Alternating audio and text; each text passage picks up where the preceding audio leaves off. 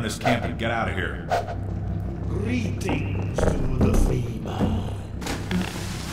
Come on in. I'll show you what you're up against.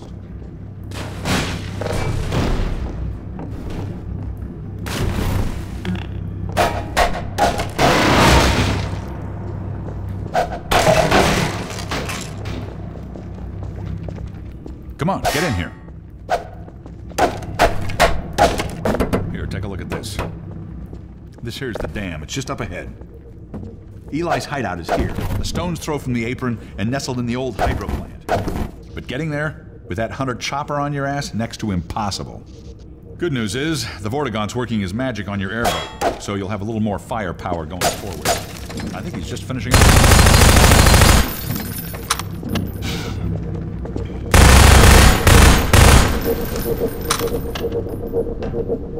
There we are. That gun came off of the same hunter choppers that you're. Take that chopper down. You should be able to tear on through the air. The Freeman will accept this weapon. Shall suffer greatly on the road ahead.